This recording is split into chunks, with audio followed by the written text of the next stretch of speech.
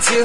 Alright, like Hello YouTube, it's, well, day three, but my day two of the um, 62nd September.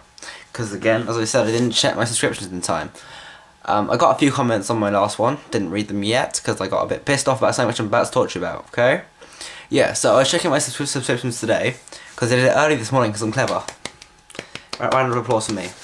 And Tracy Shaw brought up a very interesting um, point about a group on about a group on MySpace called Mothers Against BrokenCYDE. And if you don't know, BrokenCYDE are a band who have some lyrics that are yeah a bit this well your mum wouldn't like them, but then your mum wouldn't like much.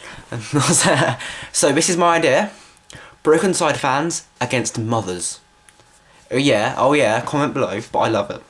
BrokenCYDE fans against mothers. Bring it on.